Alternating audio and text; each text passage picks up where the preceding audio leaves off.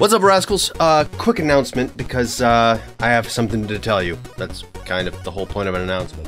As you may have already guessed, there's uh, not going to be a regular video today. I know the channel's been a little bit flaky as far as regularly scheduled content goes, and I apologize for that. But as my trip to VidCon gets closer and closer every day, I have shit to prepare, and sometimes I don't always have time or energy for videos. Uh, but I'm I'm hoping to uh, do something about that now. So instead of regular video today, I'm going to be like recording like a madman this entire weekend so that there'd be enough content for the week and the week that I'm gonna be gone. So that's the goal here. Also, while I'm here, I may as well ask you guys. Uh, I was kind of debating on whether or not to do like vlogs about my uh, experience at my very first VidCon. Uh, so let me know in the comments if you'd like me to do something like that.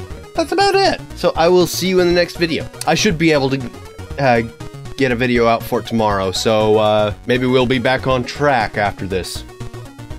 One can hope! Alright, I'll see you in the next one. Hopefully. Hello,